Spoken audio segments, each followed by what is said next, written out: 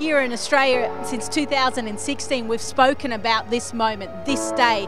To actually see a packed MCG would yeah, bring a little bit of a tear to my eye.